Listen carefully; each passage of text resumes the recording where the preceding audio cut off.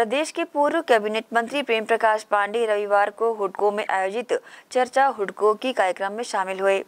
हुडको गणेश मंदिर में आयोजित इस कार्यक्रम में सैकड़ों की संख्या में हुडकोवासी शामिल रहे। इस दौरान श्री पांडे ने भिलाई सहित हुडको के प्रमुख विषयों पर उपस्थित जनों से चर्चा की। कार्यक्रम में उपस्थित महिलाओं एवं युवाओं ने भी श्री पांडे के समक्ष अपने विचार रखे। श्री पांडे ने चर्चा के दौरान कहा कि विधायक ने भिलाई के युवाओं को छला है और सभी नौजवान गलत दिशा में जा रहे हैं।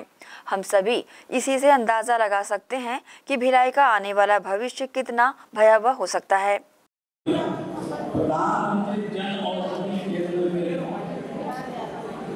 इतनी सस्ती दवाइयाँ क्योंकि एक बार एक कुर्सी पार के जिला आयोग से दवाई का कागज़ देंगे वो बोले कि कुर्सी पार के मेडिकल शॉप से लेती है तो लगभग अठारह उन्नीस सौ का मिलता है मैं सेक्रेटरी सुविधा तो एक सौ अट्ठाईस कि वो पढ़ने में असक्त है वो लाइब्रेरी में अपनी पढ़ाई कर सकते हैं। ऐसा लाइब्रेरी का डिमांड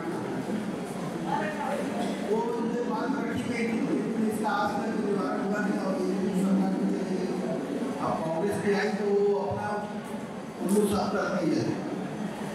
और ये सोचते हैं कि जब बीजेपी की सरकार आए तो हम लोग के लिए लोगों को हासिल होगी एक लाइब्रेरी की व्यवस्था हो जाए लोग असक्त लोग वहाँ थोड़ा हालत ये है कि अपन जा नहीं सकते जैसे भी बारिश है सब कितना भरा है भरा है सब का और उसके बाद में तक बात गई लोगों की बात गई ही है। कि भैया, हम काम करते हैं। ऐसा तो देखो। हाँ हाँ देखते हैं। होगा यही चीज़ हम लोग को जवाब मिलता है। दूसरी बात आया जैसे कि पार्क में जाते हैं तो मान जैसे जो लोग, वो तीन बजे सुबह टाइम पाँच छः बजे तो हम जाएँगे। सात बजे तक सबको घर आना रहते हैं। उस बीच भी बच्चे, लड़के, लड़कियाँ बैठे हैं या जो भी, इस तरह की बातें, एक बात में सारे पार्ट में हमारे जितने बने हुए हैं, उनको वो सब मैं खुद देख रही हूँ। मेरे साथ और लोग जाते हैं।